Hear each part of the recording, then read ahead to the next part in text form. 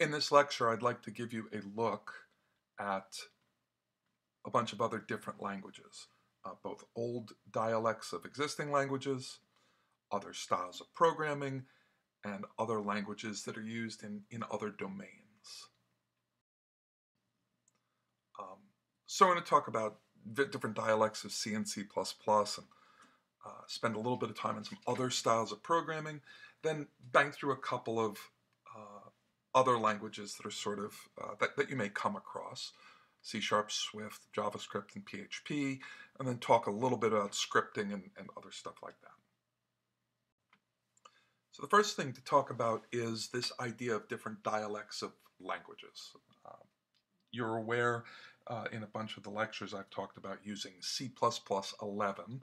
Uh, that's the 2011 version of the language. Um, and you could probably guess from that that there's other versions from other years and other editions of different languages, right? So there was the original Kernighan and Ritchie C uh, that was then standardized in the 80s uh, to something called ANSI C, the American National Standards Institute.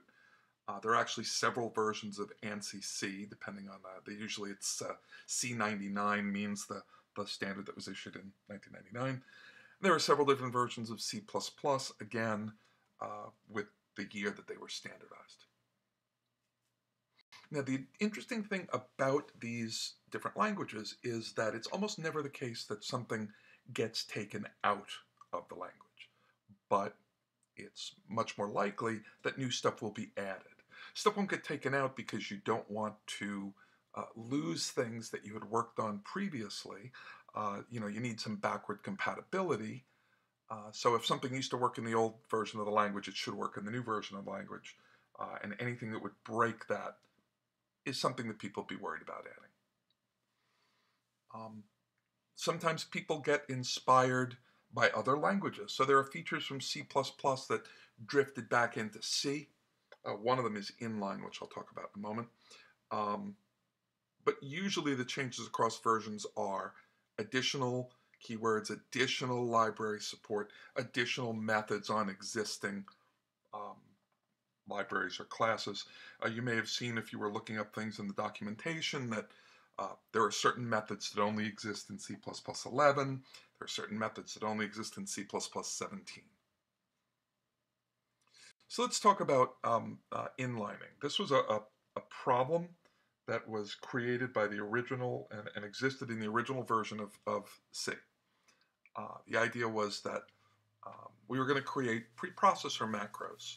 Um, the idea behind a preprocessor macro is it's just simple textual replacement, one set of text for another, with some argument substitution. Um, it looks like a function call, but it doesn't cost you anything like a function call the preprocessor makes the necessary substitutions before the compilation. So in this example here, the first line, that pound define, I've defined a macro named isUpper, takes a single parameter x, and you can see there that everywhere it says isUpper x, the stuff on the right is what replaces it. So isUpper ch gets taken by the preprocessor and turned into if ch greater than or equal a and ch less than or equal to Z. So, you know, if, if it is an uppercase letter.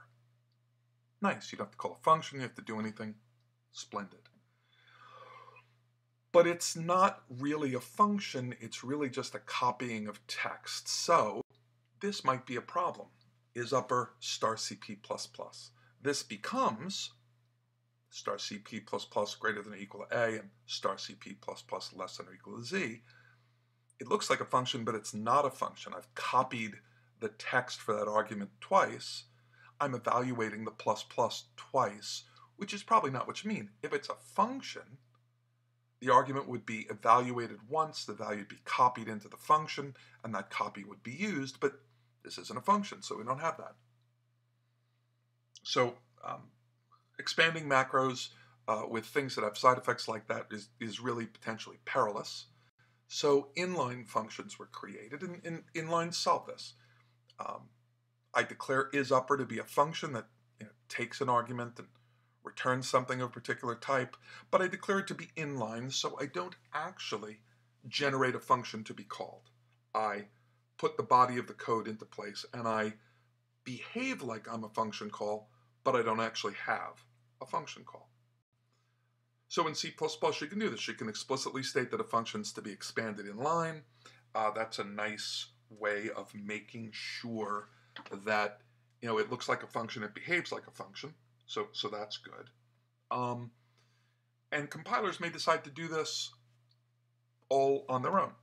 Uh, getters and setters in classes and you know small methods defined in classes are often inlined. Small functions are often inlined. So that, among many other things, uh, turns out to be a fairly interesting and, and somewhat useful feature uh, that got added to C++ to solve a particular problem, and at some point it got absorbed back into C. Okay, let's switch gears a little bit because we've talked about imperative programming, we've talked about object-oriented programming. There's other styles of programming. One of the styles of programming is called declarative. So in logic programming, we have what's called declarative semantics. We, we make statements that declare facts and declare relationships. Uh, there's no variables really, or not in the same sense as imperative programs. There's just statements about things that are true, and there's no procedures. You simply state what you know and state what kind of a result you would like to see, and then let the system figure that out for you. Now, this is illustratable in a really bizarre example here. We could use logic programming to sort a list. Now, we all know from data structures how you sort a list, but logic programming here, we're not telling it how to sort a list, we're just describing a list. So if I've got an old list and I got a new list, and I can somehow permute the old list into a new list, and the new list is sorted, that implies that the new list is sorted.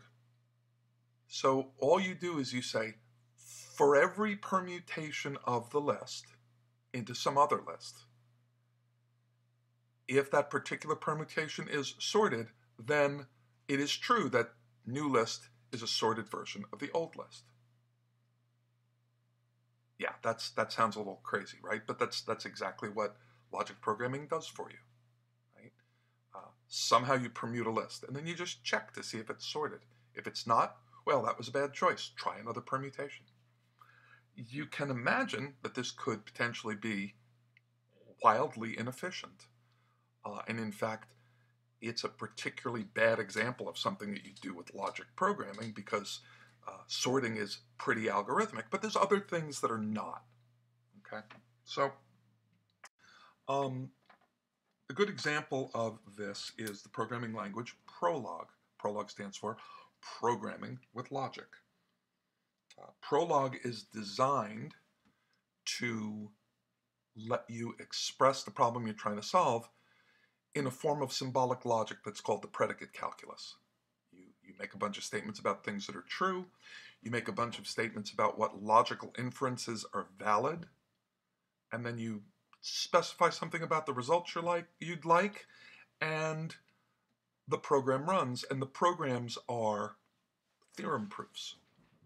Given everything I know, and given all the things that I know how to infer, is the question that I'm asking you true?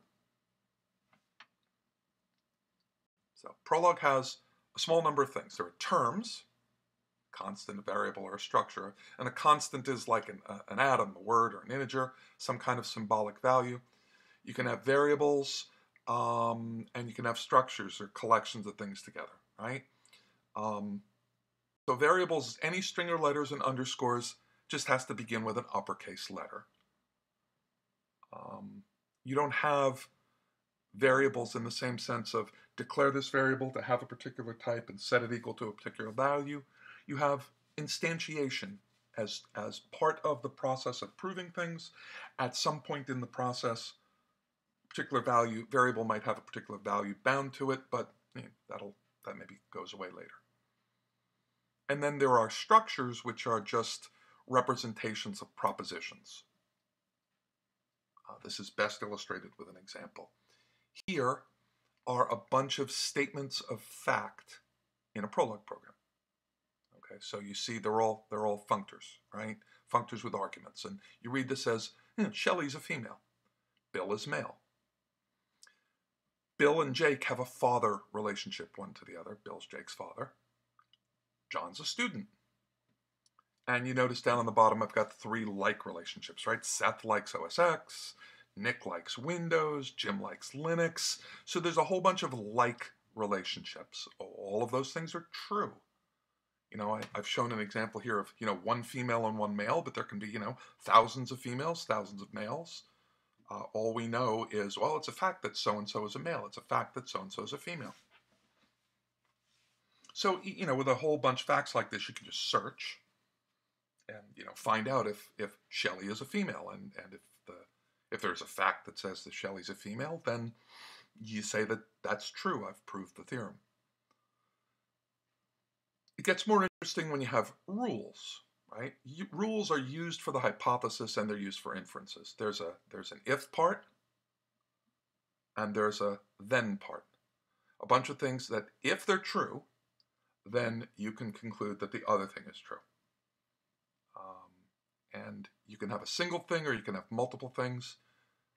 Uh, again, this is best illustrated with an example. Okay, so the first rule says um, Mary, if Mary is Shelley's mother, then Mary Shelley's ancestor, which you know, makes sense, right? Uh, uh, your mother is one of your ancestors, your father's one of your ancestors, and so that's that's But it really gets interesting, or more interesting, if you use variables to generalize the meaning. So the first rule says that if X is Y's mother, that implies that X is a parent of Y. If x is y's father, this implies that x is a parent of y. And that's true for all of the pairs that have the mother relationship, all of the pairs that have the father relationship. I don't have to enumerate them. I can infer them with these variables. It gets most interesting on the last one here where we talk, we have a rule for a grandparent. Now the comma separated list of things on the right is an and. This says if x is a parent of y and y is a parent of z, then x is a grandparent of z. Uh, and this is uh, it's obvious, right? If uh, your your parent's parent is your grandparent, right? So this is these sorts of rules where you can you have straightforward statements about what can and cannot be inferred from all of the stuff that you already know. Um, you can infer a lot of different things with a very small number of rules. Um, it turns out that when I taught myself Prolog, one of the things I did was I tried to figure out a, a program to prove things about who was related to who in what way. So I have a very large extended family.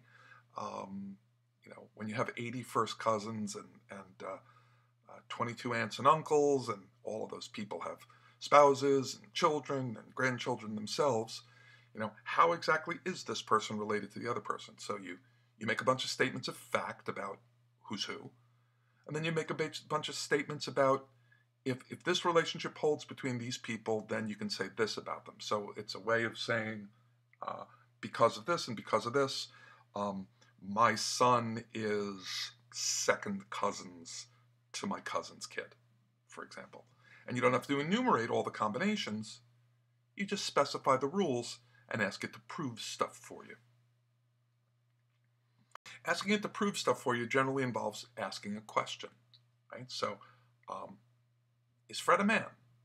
Right? Man, Fred, question mark. Uh, that searches the rule base and tries to find out if Fred's a man. And, and if he is, it says yes. And if he's not, it says no. Now you can have conjunctions, and these things are also um, just as legal, right? So, um, is Mike's father wealthy? Uh, X is a father to Mike, and the comma means and. So, X is a father to Mike, and X is wealthy. So that's saying, is Mike's father wealthy? Is there an X such that X is the father of Mike and X is wealthy? Right? So when I ask Prolog to prove this, It'll search through the set of all possible facts that it has and tell me if it's true or not. And if it is true, it'll tell me the value for x that makes it true. And there might be multiple values of x or multiple values of the variables, right? The process of doing the proof is called resolution. Uh, you, you resolve the various statements. You find values for variables that allow the matching to succeed. You assign temporary variables to allow you to continue searching through, and you, you get to a conclusion or you don't. And if you fail to get to a conclusion, then you go back to a, decision that you made about instantiating a particular variable with a particular value, and you throw that away and you try something else. Um, this basically allows you to search lots and lots and lots of different things. It allows you to reconsider previous choices that you made, uh, allows you to pick up where search is left off, um, but it's non-algorithmic, right? It's not driven by, you know, it's not a depth first search or a breadth, breadth first search or any of the things that you might have learned in algorithms. Uh, it's potentially somewhat inefficient, but you don't have to worry about what the structure of the program is. You just let it prove things. Um, Prolog has arithmetic, but it does it in a weird way. You say that uh, if you have a certain number of, uh, of values, variables or constants, that can be um, that can be applied to, to each other with using addition and subtraction and division and all that kind of stuff um, you can say that the value of performing those arithmetic operations um, is the value of some variable. But that's not assignment. Right? In our proof, whenever we have a value for b and a value for c, a is b divided by 17 plus c. So, uh, an example might make this clear. I have a database uh, with eight facts in it. Um, four facts about the speed that four different cars can go, four facts about the time that four different cars were driven. And then I make up a rule that says the distance that x, if I want to, I want to say that uh, there's a relationship called distance between x and y.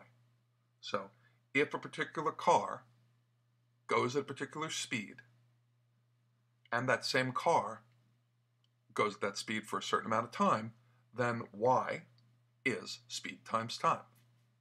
So whatever value might be found for speed, and whatever value might be found for time, the thing will calculate for whatever instantiation you've got for speed and time what y is and return it. So if I ask, what's Chevy distance if I and drive on my Chevy. And it'll figure out, well, hmm, what's the Chevy's speed? Notice capital speed, speed's a variable. And Chevy speed's 105. What's the Chevy time? Chevy time is 21. So uh, Chevy speed times Chevy time is 2,205. So it will say, yes, this is true, and it's true when Chevy distance is 2205. Now, if there were multiple extra facts in here, uh, and multiple answers that would make this true, you could force Prolog to keep searching and find other variables. Another example to sort of illustrate this, um,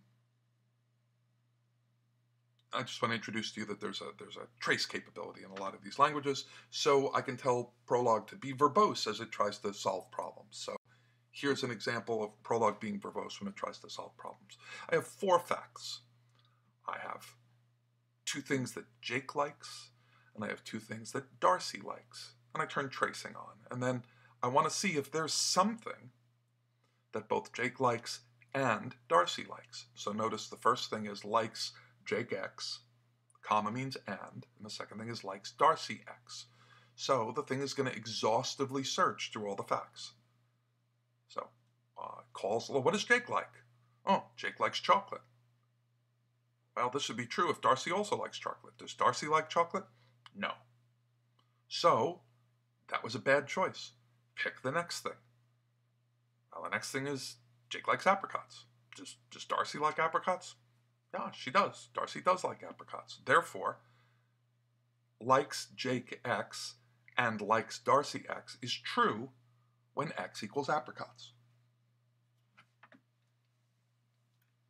There's other uh, operations built into um, Prolog that are uh, entertaining to look at.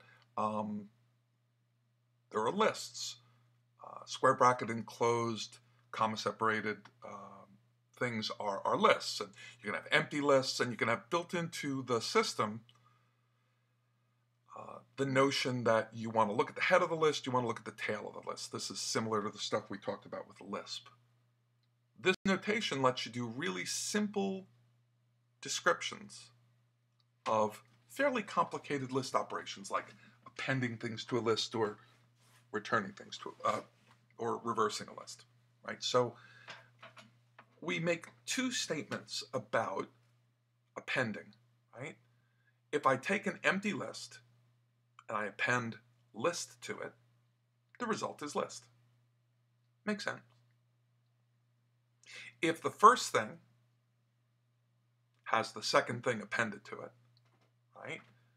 Um, then you can simply crank through and append pieces, right? So if I can, if you look at the, the line here, it says the first argument is head, followed by list one. And then list two is appended to that. And then we say, okay, well, if head followed by list one is the first argument and list two is the um, second argument, well, the result is head, the beginning of list one, followed by list three. What is list three? Well, list three is list one with list two appended to it, and the result is list three.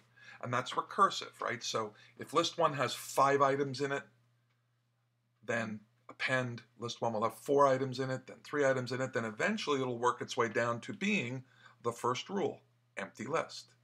And then as it unwinds itself, you, you can see that uh, eventually you will have a fully formed list where the first argument has the second argument appended to it.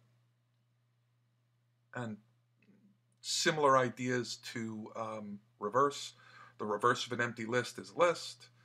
Um, reversing can be described as uh, in, in terms of reversing the tail of the list and then appending the head of the list to the reverse tail.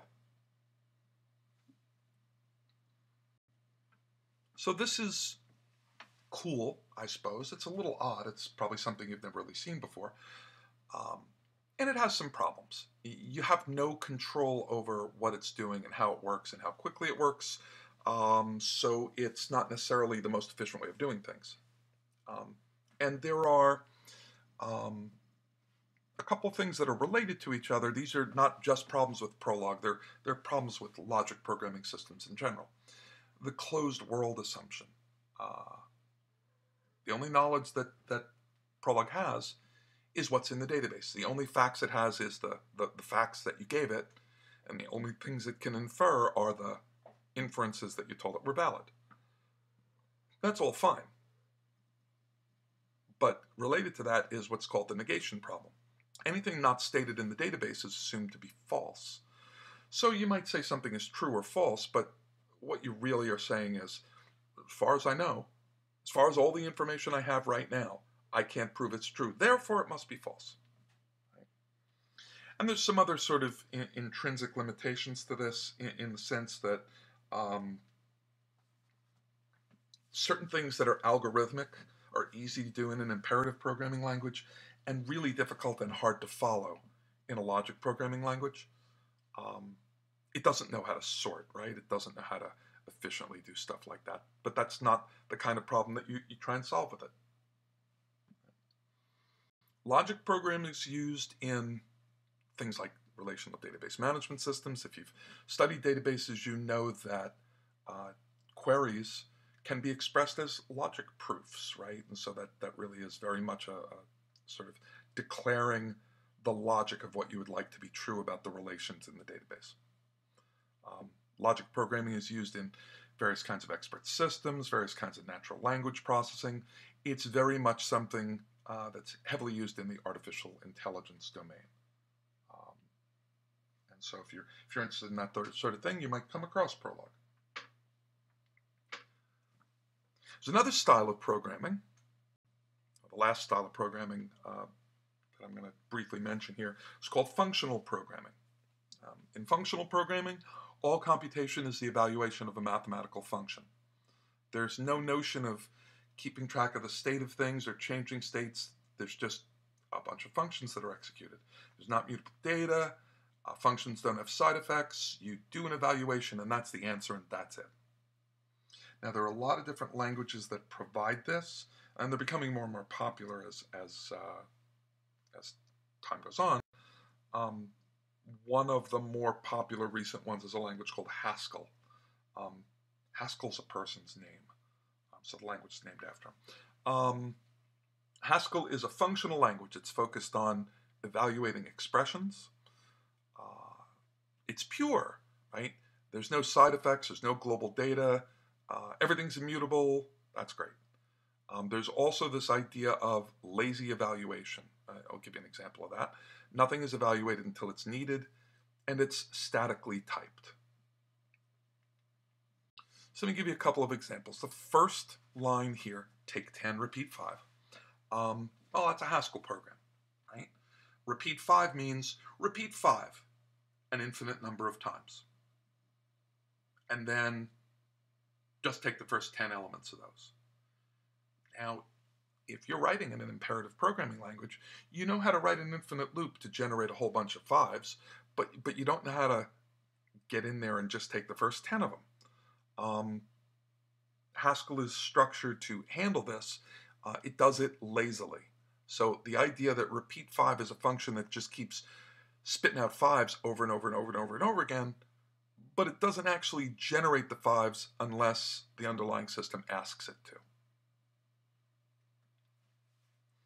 Um, list comprehensions, the second line. Um, this is uh, something you may have seen in Python, and we talked about this in Python. Um, you you talk about what's in a list, and you talk about how you derive what's in the list, right? So um, you read this as, uh, give me a list of the square of x, such that x is in the range of numbers from 1 to 10, and x squared is less than 15.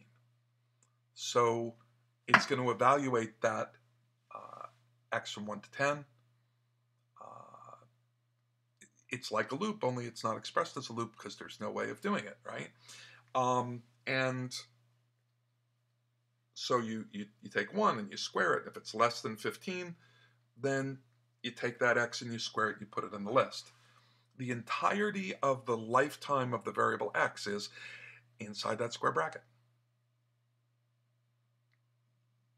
Another slightly more complicated version, um, give me uh, a tuple ABC representing right triangles whose perimeter is 24. So there you go, C, B, and A. Um, a squared plus B squared is equal to C squared. So it's a right triangle. And A plus B plus C is equal to 24.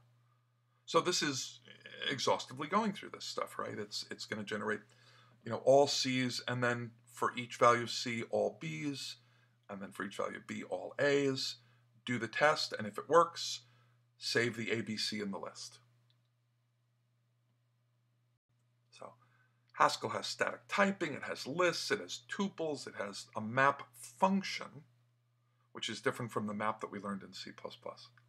Apply a function to every element in a list to get a new list. So this says map the function plus 3 to the list 271. That is to say, add 3 to each element in the list.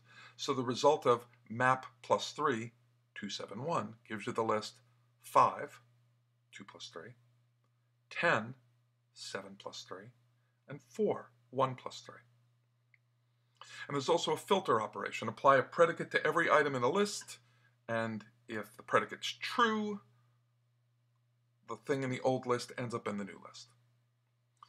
So this lets you do some stuff in a very interesting way. This is quicksort written in Haskell, written in a functional programming language.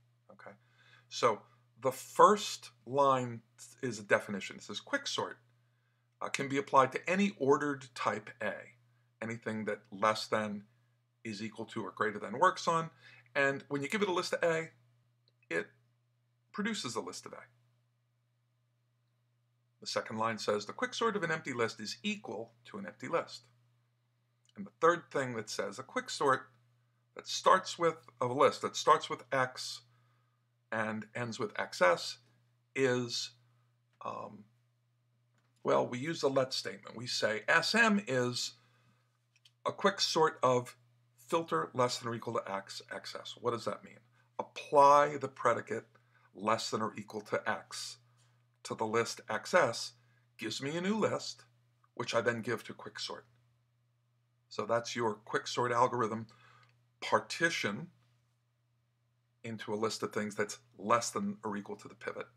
And the second line says apply the predicate greater than x to xs. Find everything in xs that is greater than x and take that new resulting list and give to quicksort.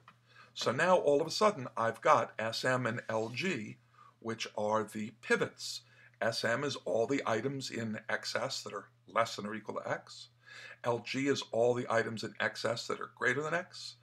And then I can say um, the result is SM, the left partition, concatenated with the list X, concatenated with LG, the rightmost partition. So you let SM and LG have those values just in that expression. And that's what quicksort is. And so you can see it, it's, it's recursive. Um, just like uh, just like the quicksort algorithm is defined. You know, you find a pivot, you partition the, the list into two items, you recursively quicksort each piece, and you combine things together. Cool. There's a bunch of other languages, and, and Haskell is much more than just these couple of slides. And there's a couple of other languages that we might um, might uh, want to talk about at some other point. Um, there's languages like Julia and older languages like ML and standard ML. Uh, but Haskell's fairly popular and you might, yeah, you might come across it. Now I want to touch on a couple of little things about other languages, right? Uh, mentioned C Sharp a couple times, developed by Microsoft, uh, designed to run inside their common language runtime, uh, based on Windows, and there's a common platform that handles all kinds of stuff like exceptions and garbage collection and security and all that jazz. Looks a lot like C++ with a couple of differences. Um, they decided for weird ways, the weird weird reasons that I don't quite understand, to handle multidimensional arrays slightly differently. Um, they support interface from Java. They support type-safe function pointers. They support overriding. Uh, one entertaining thing is that they allow pointers. They allow you to use pointers, but you can only use pointers in certain areas, and those areas have to be marked unsafe. Literally, there's a keyword unsafe. Um, my guess is that they want to warn the runtime that memory in that area might have been changed and can't be garbage collected. Uh, I don't know. But I, I continue to find it entertaining that to use pointers in this language, I have to say that it's unsafe. Another interesting language that is relatively new is a programming language called Swift. Um, Apple used to do all of its development for um, iPhones and iPads and iPods in a language called Objective-C. Objective-C is a very difficult language to write in. It's not very strongly typed, a bunch of different issues with it. So they decided that what they wanted to do was take the best of C and the best of C++ and the best of Objective-C, but not hold on to C backward compatibility like C++ did and like Objective-C did. Um, and also, since they weren't holding on to that compatibility, uh, maybe there's some other things that they could they could add to the language to make a little, things a little bit more nice. So, so they have um, they have types and they have constants, but they handle them slightly differently. If I say if I say let let x equal something, um, I'm saying that x is a constant. Um, I can say that it's not a constant, but it's a variable, var, and var in Swift works like auto does in C++. If I say var x equals 10, the Swift compiler says, oh, 10, it's an integer, must be an integer, that's what you want. Um, you can, if you want to, explicitly specify the type by saying uh, colon type name. They have strings and they have collections, but they're basic types in the language. There's, they're not extra funky add-on things. And you got closures in the language. Um, function arguments can actually have keywords, right? One of the really cooler things about Swift is they have this idea of uh, option types. I like to think about this as it's an uninitialized variable. I don't quite know anything about this thing yet. It's, it's different from a variable that's been set to zero. It hasn't been set to anything at all.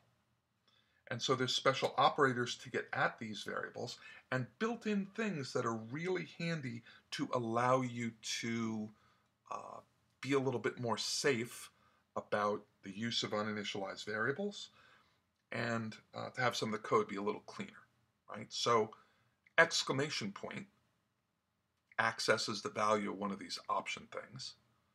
Question mark accesses the value but only goes ahead if there's actually a value. So first example here, an optional instance bang dot some method. So if an optional instance doesn't have a value associated with it, then there'll be a null pointer exception here. But here I can say an optional instance question mark some method. So this is like saying if an optional instance has a value, then dereference it and call some method. So this is kind of nice. The, the, the, code's a lot smaller and a lot cleaner. Um, and it's particularly nice when you have chain of things here, right? So uh, what does this say here? The least start is take a building, um, go to tenant list sub 5 if it exists, and go to lease details if they exist, and get the start date.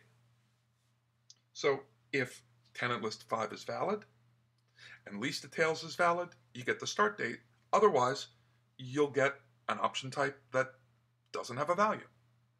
So this is a lot cleaner than if this pointer is valid, then dereference it and find out if that pointer is valid, and then dereference it and find out if that pointer is valid. It's a nice, compact uh, operation. Swift has classes, single inheritance, you extend classes like you do in Java. It has protocols, which is a, a sort of an interface. Think of it as an interface. They don't use the keyword this, they use the keyword self. Not that really big a deal. Um, one of the cool things that you can do in the language, and this is really handy in, in uh, various kinds of GUI things and communication things, you can set observers on variables. Right? So um, if I want to, I can have code that's executed just before a value of a variable is set. And I can have code that's called just after the value of a variable is set. So all kinds of extra functionality can be transparently added to some kind of a user interface by triggering an observer.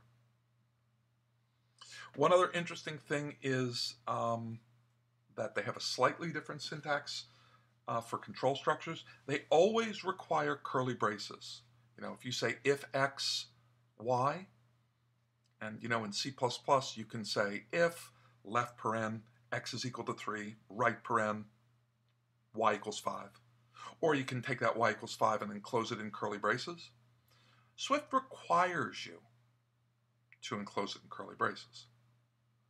Since Swift requires you to close it in curly, enclose it in curly braces, the Swift compiler knows exactly where the conditional piece ends and the body of the if begins, so parens aren't required. So instead of saying if left paren x is equal to 3, right paren do something, I can say if x is equal to 3 with no parens, but I've got to follow it with a curly brace. Of course, you can always parenthesize an expression so the parens are valid, but they're not required.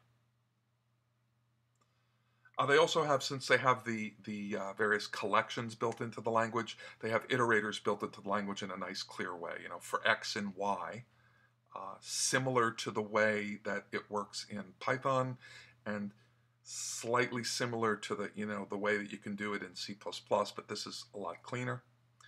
Uh, they have operator overloading, which is great. They do automatic reference, automatic reference counting in a very efficient way.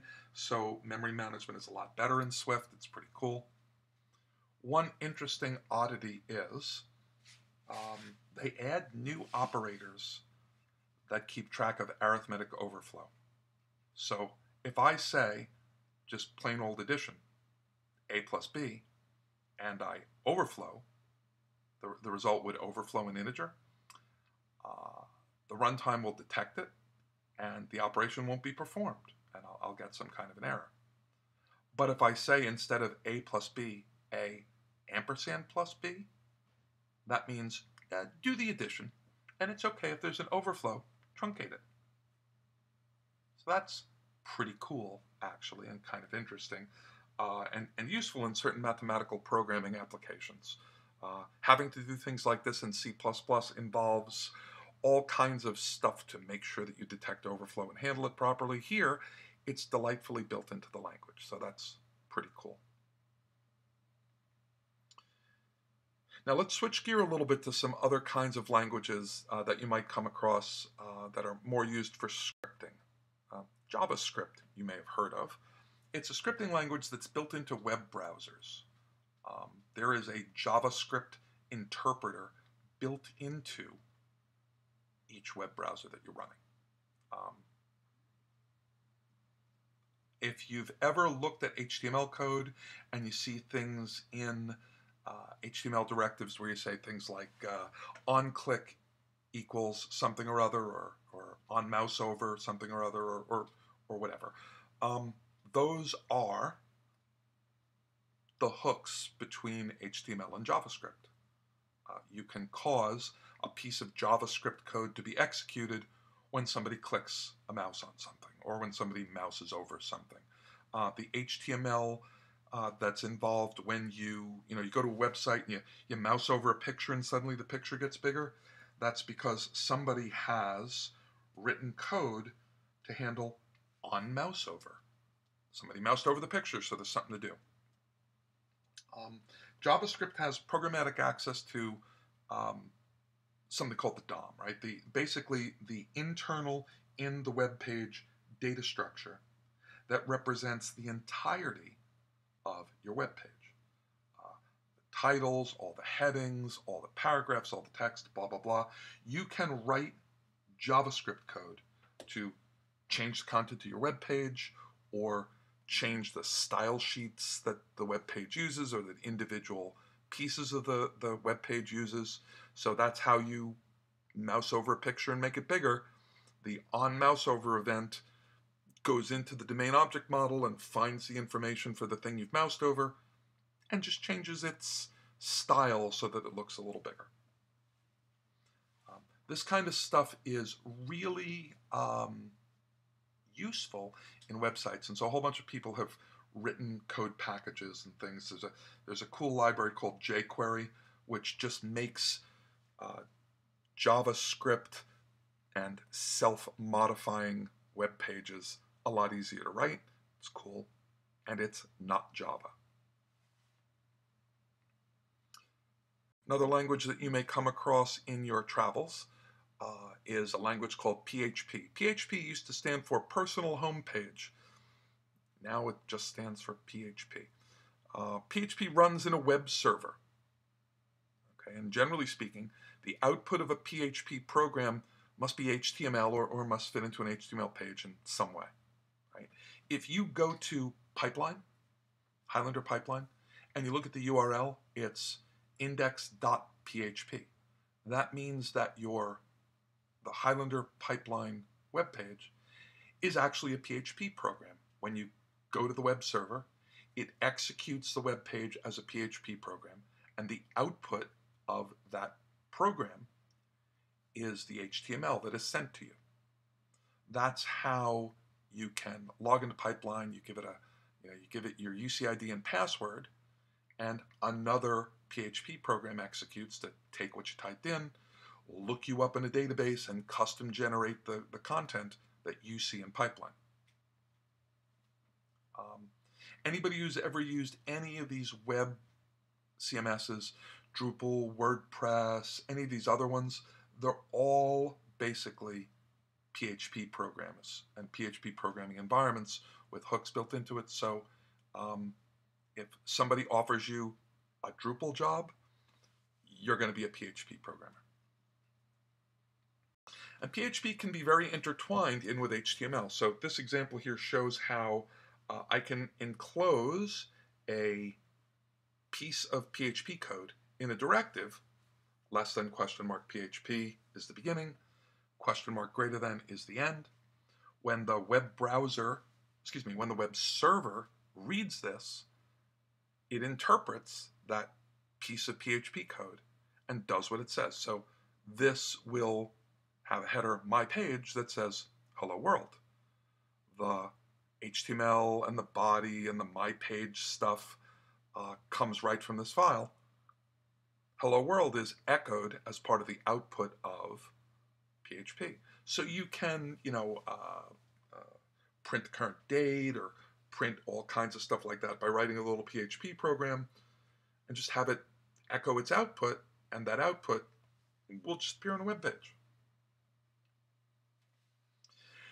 Now, I think you can see that some of this stuff is a little complicated, right? You can have PHP on the server side, you can have JavaScript on the client side. Your web page might have HTML, it might have JavaScript, it might have PHP, it might have CSS, all in one file.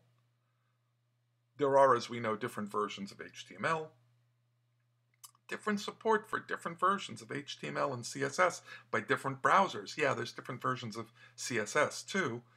Um, so the complexity of, of web development, web design, and web testing means that a lot of us will be employed for a long time. Um, there's a, a, whole bunch of ideas about cleaning this stuff up and making it better and unifying these things a little bit more. But you know, this has sort of grown in a really ad hoc way, and different pieces have have uh, been added on to different other pieces, and so the sort of the the interoperability and the interdependencies between these things, uh, I think they're going to be with us for a while. Now there are other scripting languages too, not used in, in web environments, although although they can be used in web environments. And if you take CS288, uh, you might come across um, the shell. The shell is uh, the command line interpreter that's built into, uh, that comes with Unix uh, and Linux. And if you take a bunch of commands, put them in a file, and execute that file, you've got a shell script. You can have a list of commands executed by just saying the name of the file that has the commands in it, right? So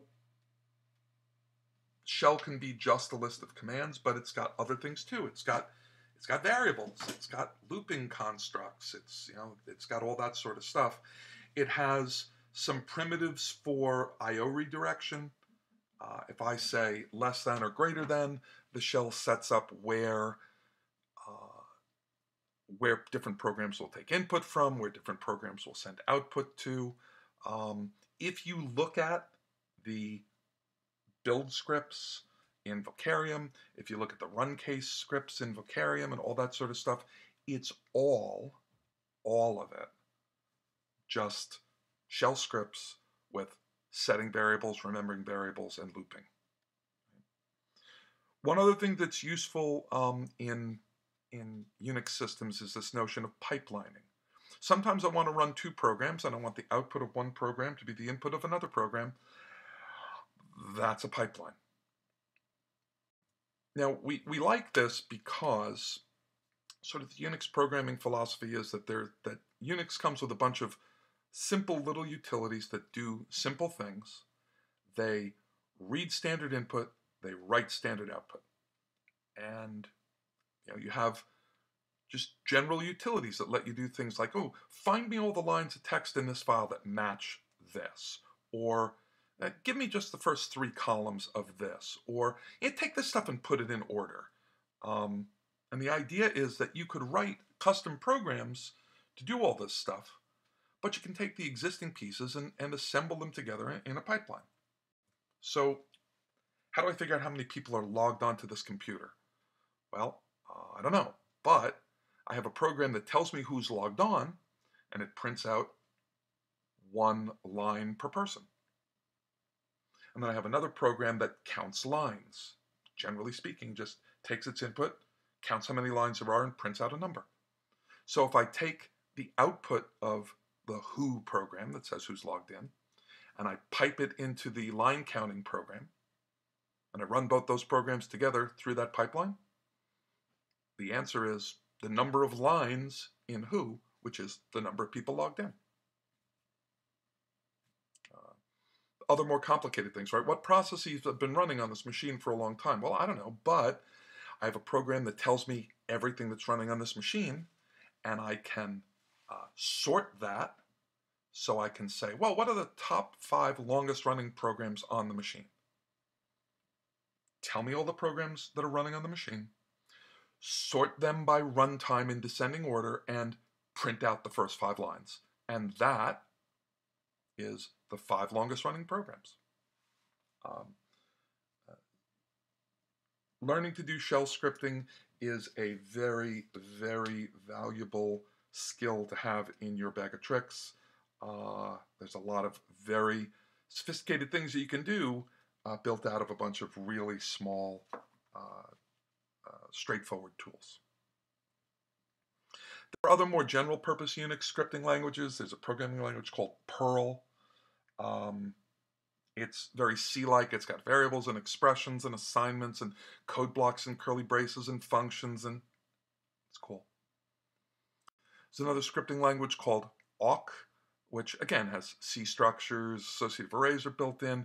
It has built-in regular expression matching, um, and it's structured around uh, doing something a line at a time, right? So uh, an awk program is written such that you say, here's what I want to do for each line of text. And the program automatically reads in a line and gives it to the awk program, breaks it up into words. Um, you know, you can you can uh, change one word to another. You can find all lines that have five words on them and print them out or, or count them or whatever. Um, it's built in a very general purpose way. So most of these languages that we've talked about um, pretty much all semester, right, have been in some way general purpose languages, right? Even languages that are custom designed for um, uh, the web, right, and have certain web things built in, are really general purpose. But languages are used in a lot of different places and in a lot of different ways, and they're not necessarily limited to general purpose programming languages. Um, there's ideas uh, in this area uh, come mostly from a paper uh, written by a guy named John Bentley back in the 80s. Uh, he used to write a column for the communications of the ACM called Programming Pearls, and in one of these columns he talked about little languages. Sometimes the problem that you're trying to solve is best solved by writing an interpreter for a little language. Um, this might be like really customized to a particular use. Uh, this might be somewhat general purpose, but for a very, very narrow domain. Um, being able to do this is occasionally very useful. So, for example, um, if you are interested in computer networking, you'll teach yourself a scripting language called NS that was custom written to do network simulations.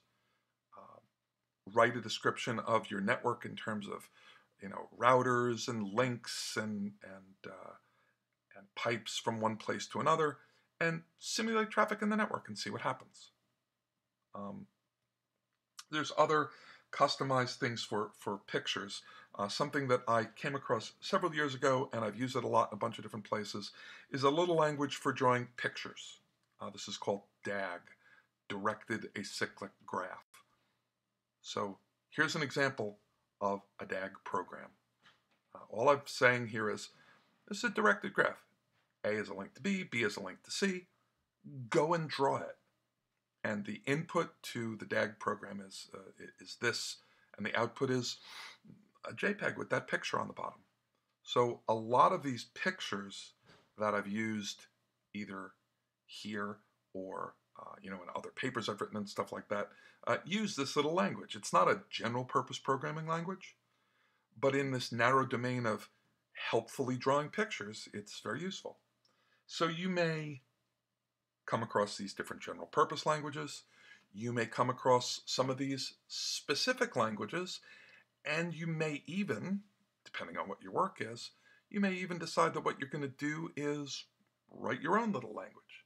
Uh, and you, when you do that, you will be writing a language that has syntax, semantics, names, and types, just like every other one of these programming language has.